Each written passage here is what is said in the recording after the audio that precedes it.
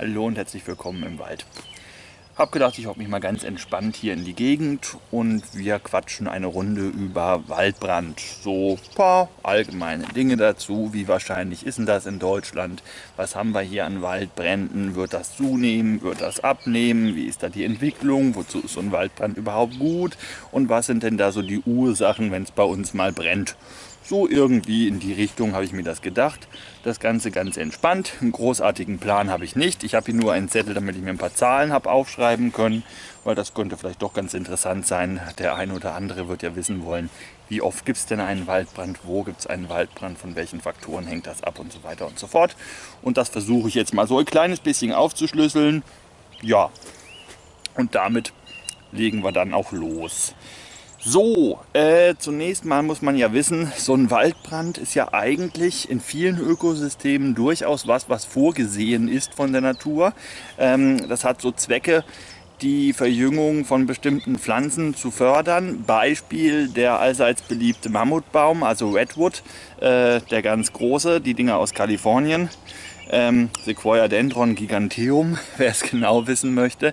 Der zum Beispiel ist für seine Verbreitung, seine Vermehrung ähm, auf Feuer angewiesen. Das funktioniert nämlich nur so, dass diese sehr harten Zapfen, die der theoretisch hat, nur dann aufgehen, ähm, wenn drunter das Feuer brennt, die Hitze hochsteigt und dann durch die Hitze quasi die Zapfen ein Hitzesignal bekommen. Dann öffnen sie sich langsam und nur dann kommen überhaupt die Samen äh, aus den Zapfen hervor und fallen runter. Äh, die Samen sind dann, ja, beziehungsweise die Sämlinge sind sogenannte Rohbodenkeimer. Die keimen dann besonders gut und sind darauf spezialisiert, das eben auch so zu tun auf blanker Erde, wo quasi sämtliche Biomasse, die da vorher war, zu Asche verbrannt ist. Also, dass der ganze Boden in äh, manchen Wäldern, insbesondere in Nadelwäldern, weggebrannt wird, ist eben gar nicht so sehr was Besonderes. Auch in Australien hat es immer Buschbrände dann gegeben. Das ist was anderes als ein Waldbrand und wird es vermutlich auch immer geben, ähm, solange es dann noch irgendwelche Vegetation gibt zumindest. Was bleibt abzuwarten, wie lange das noch der Fall sein wird. Ähm, das ist also auch durchaus was Natürliches und auch da gibt es wieder viele Bäume, die sich dann speziell an, an Feuer angepasst haben. Äh, gibt es verschiedene Möglichkeiten, wie man einen Waldbrand als Baum übersteht. Entweder man hat zum Beispiel eine dicke Borke. Es gibt auch Bäume, die haben eine richtige ja, abbrennende Schutzschicht aus Haaren, könnte man sagen. Also so eine Art sieht aus, ein bisschen aus wie Grashalme. Äh, die äh, isolieren quasi den Stamm nach außen. Das Ganze brennt dann ab und bildet dann eine Ascheschicht, die dann den eigentlichen Stamm ähm, wiederum ganz gut isoliert und vor weiterem Feuer beschützt. Also das sind jetzt nur so zwei Anpassungen an Feuer. Äh, da gibt es noch einen Haufen mehr. Für was ist denn das noch wichtig? Ähm, in vielen ja, Steppenlandschaften und Ähnlichem dient Feuer auch dazu, dass man einfach mal wieder sozusagen die Vegetation auf Null heruntersetzt. Das ist auch eben wirklich vorgesehen von der Natur. Ähm, was an toter Biomasse da ist, und kann in so äh, und in so einem trockenen Lebensraum nicht schnell umgesetzt werden kann, weil für mikrobielle Umsetzung braucht man ja Wasser. Ähm, akkumuliert sich dann immer mehr, es sammelt sich immer mehr so trockene, tote Biomasse an, äh, mit der die einzelnen Pflanzen, die dann noch gerne wachsen wollen, auch nichts anfangen können, weil wie gesagt, das lässt sich einfach nicht zu Nährstoffen wieder umsetzen. Und dann äh, könnte man jetzt so leicht esoterisch angehaucht sagen, legt dann halt irgendwann die Natur den Schalter um und setzt das Ganze mal wieder zurück auf Anfang, indem es dann halt einfach mal brennt. Das äh, setzt die Biomasse dann natürlich sehr wohl um. Ähm, es brennt alles weg, der ganze Kohlenstoff wird verbraucht, aber die ganzen Mineralien und wertvollen Salze, die die Pflanzen vor allen Dingen zum Wachstum brauchen, diese auch nicht aus der Luft holen können, wie eben den Kohlenstoff, die liegen dann in Form von Asche äh, konzentriert vor und es ist jetzt wieder wunderbare Wachstumsbedingungen für die nächste Generation an Pflanzen. Nicht unbedingt Wald. Gibt es wie gesagt eben auch in Steppen. Das sind nur so mal so ein paar allgemeine Worte zu Sinn und Zweck des Feuers äh, in der Natur, da wo es das regelmäßig gibt. Und jetzt sollte man vielleicht noch klären, wodurch kann denn so ein Brand überhaupt entstehen, so ein natürlicher, natürlicher Ursache.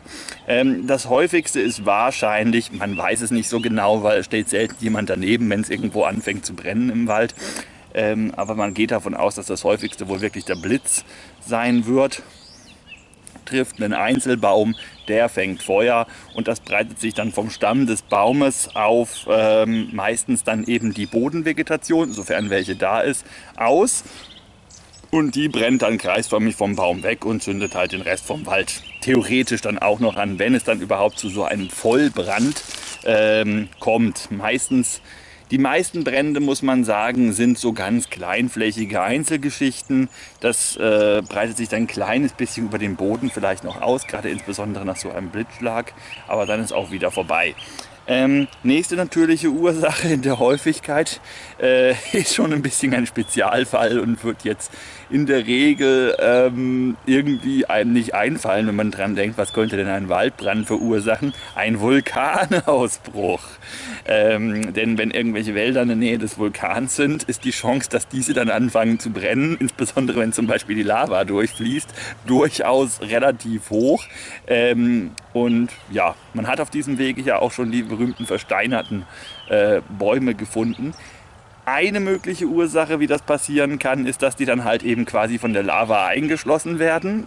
Natürlich auch oberflächlich anfangen zu brennen, aber gar nicht erst ganz abbrennen können, weil unter dem Luftabschluss in der Lava drin äh, ist dann Schluss und dann versteinern sie nach und nach unter dem entsprechend hohen Druck und kommen dann vielleicht äh, eines Tages durch irgendwelche Umwandlungsprozesse, Umwalzungsprozesse, Plattentektonik und weitere geologische Prozesse irgendwann wieder zum Vorschein. Wie gesagt, eine Möglichkeit, dass es versteinertes Holz geben kann, dass es dann so richtig schön kristallisiert. Ähm, ich weiß nicht, inwiefern die ganzen Hintergrundgeräusche euch stören, die ihr so hören könnt. Ich hoffe, ihr hört nur die Vögel und nicht diesen laufenden Motor da hinten irgendwo. Ähm, und mal wieder ein Flugzeug, natürlich. Ah, äh, jedenfalls Steinschlag wäre eine weitere Möglichkeit, wie ein Feuer natürlicherweise entstehen kann. Sprich, ein mehr oder weniger großer Stein fällt irgendwo runter.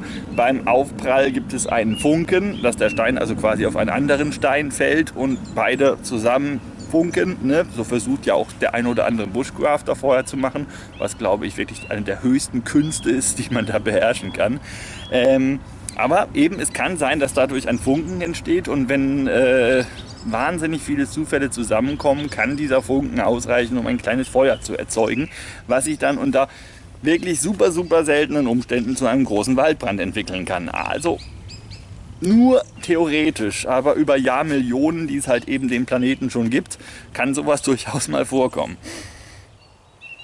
Ja, und die letzte natürliche Ursache für einen Waldbrand könnte eine Selbstentzündung vom Humus sein. Also Humus, das habe ich schon mal in diversen Videos erklärt, ist ja äh, totes Pflanzen- und Tiermaterial, also ein gestorbenes Tier, ein Reh von mir aus, das langsam verwest, wird auch zu Humus. Äh, genauso ein Bushcrafter. Also äh, wir alle sind quasi Humus, der noch rumläuft wenn man so möchte.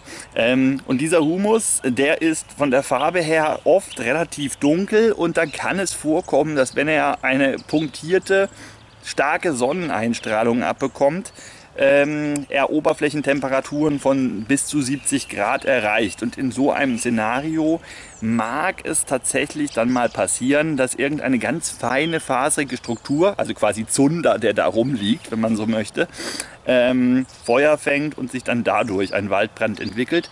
Das ist vielleicht ein gar nicht so unrealistisches Szenario, weil ähm, hohe Temperaturen haben wir relativ häufig. Und wenn sich dann eine Flamme entwickelt, dann sind die Bedingungen ohnehin so, dass es so wahnsinnig trocken ist und der ganze umgebende Humus, abgesehen von dem Punkt, wo sich die Flamme entwickelt, auch so wahnsinnig trocken und auch schon sehr warm ist, ähm, dass sich das Ganze relativ leicht dann auch ausbreiten kann, dieses Feuer.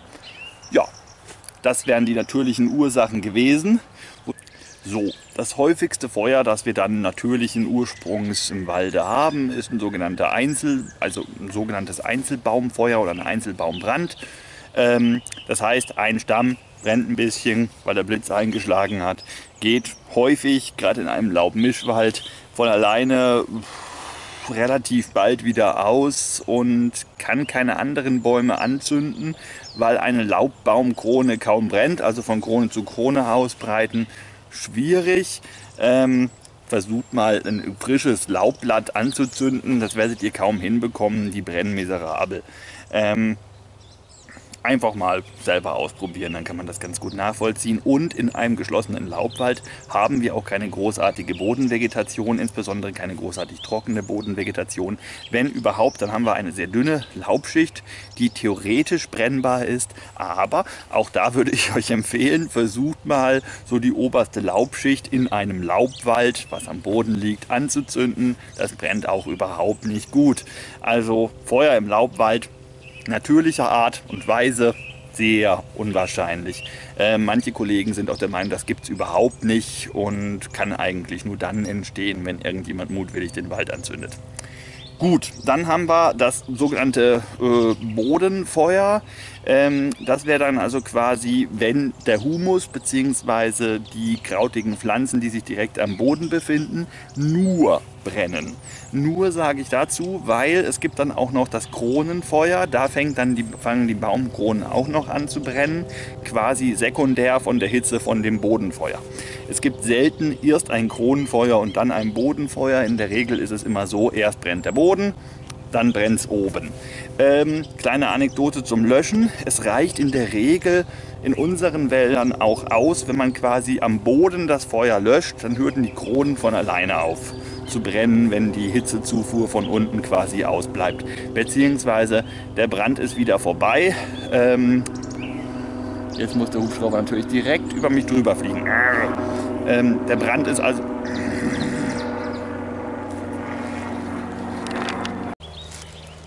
Sollte ich irgendwann mal sagen, wir 20.000 Abonnenten haben, was ich bezweifle, dann machen wir eine Spendenaktion. Ben braucht eine Flak. Aua. Jetzt habe ich mich in eine Maroni gehockt, das tut weh. So, ähm, ich habe jetzt schon wieder keine Ahnung, wo ich stehen geblieben bin. Und dann gibt es natürlich noch den Vollbrand, da brennt einfach alles, da brennt der komplette Baum quasi von oben bis unten, lichterloh. Das sind dann diese schönen Bilder, die man sehen kann, wenn es in Amerika mal wieder brennt, regelmäßig, jedes Jahr ist das ja der Fall, ähm, wo die Feuerwehrmänner wirklich ja, so in gewissen äh, Heldenstatus haben müssen, um da irgendwie gegen das Feuer anzukommen, was auch wunderbar lebensgefährlich ist. Sowas haben wir in Deutschland kaum. Wenn ich also im Folgenden von Waldbränden spreche, dann sind das meistens Bodenbrände, die noch nicht mal einen nennenswerten forstwirtschaftlichen Schaden anrichten. Ja, also sie richten schon einen an, aber es hält sich vergleichsweise wirklich sehr in Grenzen. Ähm, ganz selten mal noch ein bisschen Kronenfeuer und ein Vollbrand ist bei uns wirklich was ganz, ganz Seltenes, das nur ja, ganz vereinzelt in der Geschichte mal vorgekommen ist. Äh, zumindest hat man mir das so gesagt. Wer das besser weiß, möge mich korrigieren. Gut, Jetzt wollte ich euch einfach mal einen kleinen Überblick darüber geben, in welchem Monat es denn bisher so statistisch am meisten gebrannt habt. Äh, ihr werdet euch denken können, dass im Winter nicht allzu viel los gewesen ist. Äh, Januar, Februar brennt es also quasi gar nicht ähm, im Walde. Ist jedenfalls nichts nachgewiesen, 0,0 Hektar an ja, Brandflächen. Januar, sowohl, äh, sowohl im Januar als auch im Februar. Im März geht es dann schon los. Da haben wir hier jetzt mal, das sind so ganz grobe Durchschnittswerte, also bitte nicht drauf festnageln, nur damit ihr so grob eine Einordnung habt. Äh, da haben wir so 15 Hektar im März, was es so mal brennen könnte im Jahr ähm, über Deutschland verteilt. Ähm, im April sind schon deutlich mehr, das sind so 45 Hektar. Ähm, liegt daran, dass der April teilweise dann schon relativ trocken sein kann, mal in einzelnen Jahren. Und dann ist es durchaus möglich, dass schon ähm, erste Brände entstehen können, gerade äh, weil eben noch nicht so wirklich richtig der Saft in der Vegetation drin ist, in Anführungszeichen. Ähm, das kann eine Rolle spielen. Bei der Waldbrand-Gefahrenstufen-Sortierung, äh, auf die komme ich später auch noch mal ein bisschen zu sprechen, spielt auch das eine Rolle. Wenn die Vegetation komplett dasteht, quasi in Saft, ist das weniger gefährlich, als wenn sie es erst noch entwickeln muss und noch altes, trockenes Material aus dem Vorjahr sozusagen noch rumliegt. Ähm, dann ist im Mai relativ wenig los, da sind es nur 16,7 Hektar Brandfläche. Im Juni nimmt schon erheblich zu, muss man sagen, dann wieder auf 43,8. Also das ist so quasi Stand wie im April. Und dann geht's los. Im Juli ist so der Monat, in dem es mit Abstand am meisten brennt. Mit gewaltigen Abstand, so über die langjährigen Mittel der Vergangenheit eben. Das mag sich in Zukunft alles ändern, Klimawandel und so weiter, wisst ihr ja. Nämlich drei 276,4 Hektar Fläche Waldbrand haben wir jetzt hier in unserem statistischen Durchschnittsjahr. Ähm, Allein im Juli, im August ist es dann schon wieder viel, viel, viel, viel weniger, 14,5 äh, Hektar. Im äh, September sind es nur noch, lasst mal gucken, 8,7 Hektar und im Oktober quasi nicht mehr 0,3. Also ne, so gut wie nichts. Und dann im November und Dezember wieder 0. Also im Winter nichts. Oktober bis Februar kann man also sagen, ist das Waldbrandrisiko quasi wirklich zu vernachlässigen. Da den Wald anzuzünden, selbst in Regionen, in denen enorme hohe Waldbrandrisiken von der Vegetation her herrschen, ähm, ist das sehr, sehr, sehr unwahrscheinlich. Gut, also das war jetzt nur so mal ein bisschen die Monate. Wir gehen nachher noch auf die einzelnen Bundesländer und Regionen ein, in denen es besonders viel brennt. Ähm, Jetzt muss man noch Folgendes wissen. Wichtig ist für die Frage, ob ein Wald brennt oder nicht, zunächst mal aus welcher Hauptbaumart sich dieser Wald zusammensetzt. Das ist erstens deswegen wichtig, weil die Baumarten ja verschiedene Beschattungsgrade haben für den Boden in Anführungszeichen. Ähm, nicht, dass es, wenn da schattig ist, schlechter brennt, vielleicht auch ein bisschen, aber darauf kommt es nicht an, sondern wenn da schattig ist, dann gibt es überhaupt keine Bodenvegetation. Also so der klassische deutsche Buchenwald, UNESCO Weltnaturerbe übrigens, ähm, der hat so gut wie keine Bodenvegetation, gilt deshalb als unbrennbar, weil da gar nichts ist, was man anzünden könnte. Und an einen gesunden Buchenstamm einfach mal anzünden, geht auch nicht. Da bräuchte man schon Napalm oder mindestens einen Flammenwerfer, wenn man so einen vernünftigen, gesunden Buchenstamm zum Brennen kriegen wollte. Oder man schichtet halt einen riesigen Hauf, Scheiterhaufen quasi um die Buche auf. Aber ja, also nur mit riesigem Aufwand machbar. Mit Benzin geht es vielleicht auch nochmal einfacher, was weiß ich. So sehr Hobby-Pyromane bin ich dann auch wieder nicht. Unter normalen Bedingungen, also als Feierstil, ähm, strikender Bushcrafter, kann man das vergessen. In einem normalen Buchenwald. Das gleiche gilt für einen Laubmischwald, also es muss nicht zwingend Buche sein. Äh, ein schöner relativ vitaler Eichenwald mit einzelnen Buchen oder auch ein völliger Mischwald mit allen möglichen Laubbaumarten und hier und da auch mal Nadelbaum drin. Sowas ist wirklich quasi nicht anzündbar. Ähm, und brennt tatsächlich statistisch gesehen auch mit Abstand am aller, aller, aller, aller wenigsten. Äh, kommen wir gleich noch dazu. Was brennt, sind vom Standort her erstens mal nährstoffarm, also meistens irgendwelche Sandböden, zweites Kriterium, arm, Sand, trocken, ähm, Sand ist fast immer trocken, weil Sand die Eigenschaft hat, wenn es da rein regnet, ähm, haben die ganzen Sandkörnchen zwischen den einzelnen Körnchen vergleichsweise große Poren. Äh, heißt, das Wasser kann relativ schnell durch den Sandhaufen, auf dem unser Wald steht, äh, durchrinnen und ist dann auch relativ schnell im Grundwasser angekommen. Das hat auch durchaus Vorteile, ist aber schlecht für die Wasserversorgung vom Wald, weil was da halt an Regen runterkommt, ist relativ schnell aus dem System Wald wieder draußen und landet per Grundwasser wieder im Meer letztendlich. Ähm, Deshalb sind Sandböden immer, fast immer ziemlich trocken. Äh, Ausnahme natürlich direkt an der Küste, wo es wirklich so viel und so oft regnet, äh, dass obwohl Sandboden trotzdem nass. Oder äh, anstehendes Wasser von unten, dass das Grundwasser also sehr hoch steht, weil wir uns in irgendeiner Senke befinden und ähnlichem. Dann ist auch trotz Sandboden natürlich mit einer hohen Feuchtigkeit zu rechnen. Ganz oft steht dann auf so einem Sandboden auch eine Vegetation, die eine sehr grobe, leicht austrocknende, langsam verrottende Humusschicht bildet. Äh, insbesondere Nadelbaumstreu braucht relativ lange, bis sie verrottet ist. Und wenn es dann dazu noch trocken ist, ich hatte es ja eingangs schon erwähnt, ähm, können die kleinen Bakterien und Pilze, die normalerweise für die Zersetzung von dem ganzen Material, was der Baum auf den Boden schmeißt, zuständig sind, nur sehr, sehr schlecht arbeiten. Es akkumuliert sich Biomasse, die trocknet dann auch noch sehr schnell aus. Ähm, zusätzlich sind die Baumarten, die auf sowas leben können, um es jetzt mal kurz beim Namen zu nennen, wir sprechen im Wesentlichen von Kiefer. Also 80 Prozent der Wälder, die brennen, sind Kiefernwälder. Ähm, ungefähr, habe ich jetzt nicht wirklich eine exakte Zahl zu, aber man kann schon davon ausgehen, dass das ungefähr hinkommt. Ähm, und diese Kiefernstreu, das dauert, bis die sich eben zersetzt. Und es Kiefer ist auch sehr licht. Habt ihr meine Kiefernkrone gesehen? Das sind so kleine, vergleichsweise kleine Büschelchen. Ne? Ähm, Wenn ihr das nicht gesehen habt, guckt euch mal ein Kiefernvideo an. Äh, ich persönlich finde Kiefern zwar sehr schön, aber viel Schatten werfen die halt nicht auf den Boden. Deshalb kann sich erstens ähm, viel Sonne auf den Boden begeben, wenn man so möchte, eben die Streu sehr gut austrocknen, das Zeug brennt dann gut. Gleichzeitig mit dem vielen Licht, was am Boden ankommt, wachsen da auch viele Pflanzen, die äh, an Trockenheit angepasst sind, infolgedessen sehr trockenresistente, dann auch wenig Wasser enthaltendes Laub ausbilden, viele dünne kleine Halmchen. Ähm, Landreitgras wäre jetzt zum Beispiel mal so, äh, um mal irgendwas genannt zu haben. Auch Heidekraut, wenn es älter ist, ähm, kann sehr schnell brennen, weil es auch äh, viele kleine verästelte Stämmchen bildet, was auch alles sehr schnell austrocknen kann. Und das sind optimale Bedingungen, Nährboden quasi für ein Feuer in so einem Kiefernwald. Und wenn wir das wissen, und dazu noch wissen, dass Kiefernholz den niedrigsten Entflammbarkeitspunkt äh, aller Holze hat, nämlich bei 325 Grad ähm, fängt Kiefernholz, wenn es trocken ist, äh, an zu brennen. Egal, ob eine Flamme da ist oder nicht. Sprich, wenn ihr es schafft, das Ganze 325 Grad heiß zu kriegen, dann macht es flupp. Selbstentzündung. Ähm, das nur so als theoretisches Hintergrundwissen. Das wird jetzt in der Natur in der Regel äh, nicht unbedingt vorkommen, dass erst die 325 Grad da sind, bevor irgendeine Initialzündflamme da ist.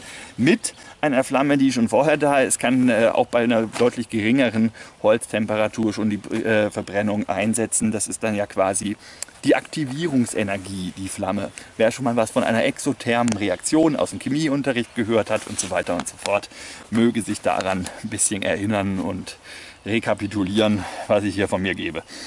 Ja, und ähm, jetzt können wir auch dazu kommen, wo es denn so brennt in der Bundesrepublik.